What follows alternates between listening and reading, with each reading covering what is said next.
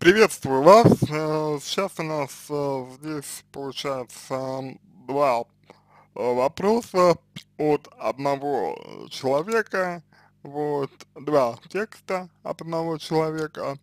Второй текст является дополнением к первому, вот, но он, э, в общем и целом, э, сути вопроса, пожалуй, не раскрывает. Второй, второй, э, второй э, текст вот, в нем лишь э, содержится дополнение, в нем есть э, в нем лишь э, содержатся некоторые пояснения автора вопроса, на мой взгляд, которые, в общем-то, указывают э, направленность его, мы, его мыслей. Вот, поэтому э, в данном э, случае я, пожалуй, зачитаю первую часть, первый текст, вот, не буду читать второй, а постараюсь ответить на и, и- именно первый э, текст, ну, как будто бы я не читал второй, вот. Да, так, мне кажется, будет правильно, потому что, ну, в сумме получается довольно много. Мне 24 года, дело в том, что между мной и молодым человеком очень затуманенные отношения, мы встречались полтора года, позже он сошелся с женой. Я резко обрубила все, решила забыть, казался забытый, но в этом году мы снова начали общаться и сблизились. В данный момент я что не смогла его простить, что он молча, ничего не объяснив, ушел. Я не могу простить эту несправедливость моим чувством, и если он снова так поступит и решит расстаться, я молча не смогу уже отпустить. Я намеревался рассказать его жене все. Может не сейчас, но в конце концов я это сделаю. Только так мне станет легче. Я не хочу обижать жену и ребенка, но просто не могу по-другому. Я считаю, что нет пути назад, раз он изначально не сопротивлялся, а продолжил общаться, знаю, на что шел. И ответственность пусть несет сам. Сейчас еще не, время, я стараюсь быть сдержанной, всему свое время. Изначально я думала, что если он полностью меня обеспечит, то я промолчу. Зная, что хотя бы от него пользы, он мне помог. Но это происходит очень медленно, мои ожидания не оправдываются, и из-за этого сильно злюсь, и чувствую, что он не обязан за мое молчание. Каждый раз думаю о том, чтобы всю правду раскрыть, но ему ничего э, подобного не могу сказать. Мы очень уважаем друг друга, отношения без, без матов и оскорблений. И у нас, и у меня, э, у нас, и у меня есть за что его благодарить. Он неплохой человек, но он плохо понимает мои чувства. Мне сложно донести ему. Я в тупике, я не знаю, как поступить, чтобы потом не жалеть. Если возможно, хотелось бы видео ответ. А, здесь ситуация, конечно, весьма деликатная в плане того, что вам причинили боль. И здесь ситуация весьма деликатная в том смысле, что а, как бы, ну, в данном случае психолог, а, в общем-то, скажем так, действует в рамках своей компетенции. А, я не думаю, что наше право указывать вам, как поступать. То есть в этом смысле хотите ам, рассказывать все э, рассказать все его жене, э, говорите, это ваша ответственность, равно как и ответственность э, вашего мужчины, как вы, на мой взгляд, справедливо заметили, э, как бы вступая с вами в отношения и расставаясь с вами, ам, допускать, что вы можете ему э, что вы можете рассказать его жене и ребенку. Вот. Ам, я, правда, не очень понимаю, зачем, да, то есть это как бы, ну, месть, э, э, это какая-то вот восстановление справедливости, А, да, возможно, но как бы по опыту я бы сказал, что подобные вещи не приводят к внутреннему облегчению, потому что, ну, ну как бы просто э, добавляется еще больше несчастных, несчастных людей, вот, а, какое-то э, вот злорадство и торжествование, э, торжество, оно может присутствовать, но по большому счету боль от ам, того, что, э, что э, сделали с вами, и как бы боль от того, что ваши чувства, например, унизили, да, она никуда не уйдет. То есть в данном случае это вы пытаетесь как бы одно заглушить, заглушить другим. И это одно, оно пусть будет. То есть я повторюсь, если вы хотите рассказывать, рассказывайте без проблем. Вот, а, но просто мне кажется, э, с этой точки зрения, что рассказать, эм, его жене, эм, про это, это не позаботиться о себе. Понимаете, какая штука? То есть, сделав это, вы о себе не позаботитесь. Сделав это, вы как бы себе ничего хорошего не сделаете. Вот. Я бы также э, в этом контексте еще бы отметил, что это не про обиду. То есть это не про обиду э, ребенка и жены. Это не про обиду. Э, это про, э, на мой взгляд, это про э, столкновение их, а точнее жены, с некой реальностью, которую она не замечает. Жена. И, или замечает, но не хочет признавать. Так как, как правило, бывает чаще. Вот, ну, потому что совершенно очевидно, да, что э, э, если мужчина, как бы, ну, вот, там, условно говоря, э, будучи женатым, да, э, встречается с другой, то совершенно очевидно, что в браке у него не все в порядке. Вот. Это первое. Второе. А вы говорите о том, что он сошелся с женой э, спустя полтора года после того, как вот, э, вы встречались.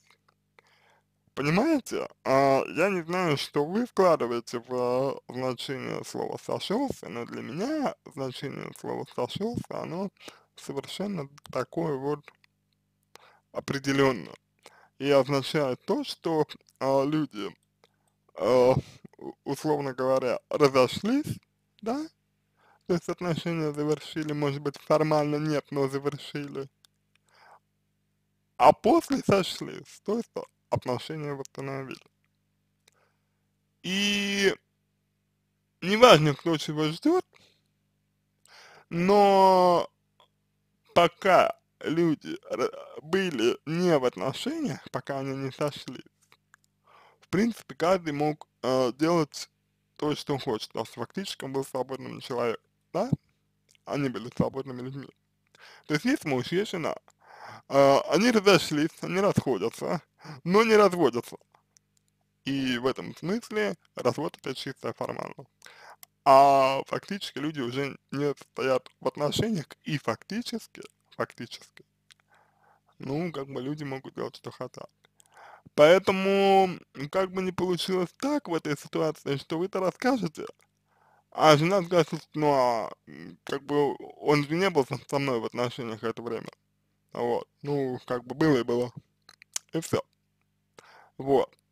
Поэтому тут э, тоже есть такой момент, э, если вы подразумеваете под словом «зашел что-то другое», я бы хотел, чтобы, чтобы вы это пояснили. Да? Вот. Да, э, дальше. Дальше. Смотрите.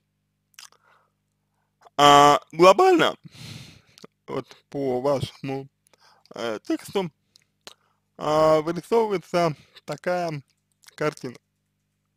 Вот то, что я как э, психолог могу выделить, что вы как будто бы довольно плохо замечаете то, что а, происходит с вами, вы довольно плохо отслеживаете свои решения, вы довольно а, плохо замечаете свой выбор, свою ответственность, хотя говорите про ответственность мужчины, это правильно, но здесь важно иметь еще в виду и вашу ответственность тоже.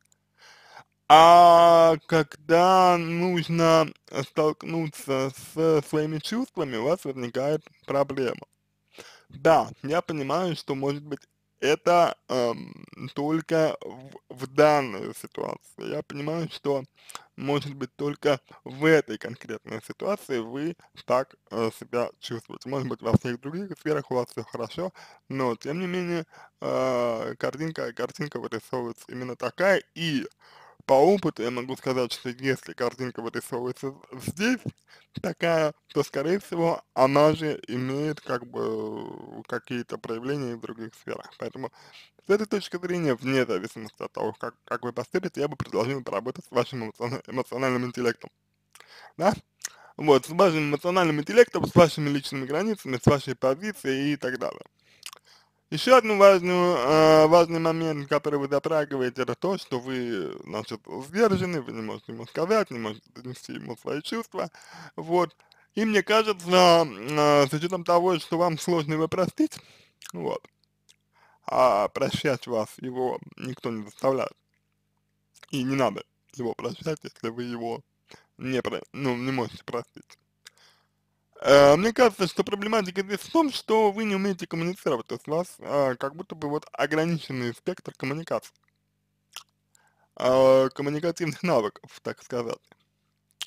Соответственно, можно вас научить, в принципе, просто более, э, скажем так, ну, более точечно, что ли, э, выражать свои чувства. Вот.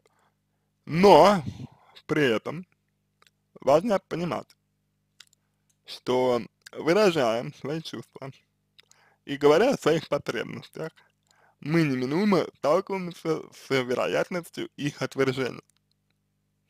И отвержение нам причиняет боль. Э, далеко не каждый человек э, прямо здесь и сейчас спос способен, э, да, способен как бы на это пойти. Потому что это риск всегда. Это риск, это возможность, возможность боли и возможность почувствовать себя, в общем-то, не самым лучшим образом. То есть это вопрос личностного роста, да? Э, в этом направлении я бы тоже хотел с вами поработать.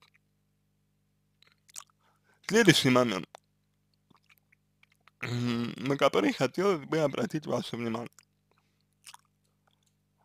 Как бы э, у, у вас, на мой взгляд, в контексте отношений смешивается материальное и эмоциональное, да?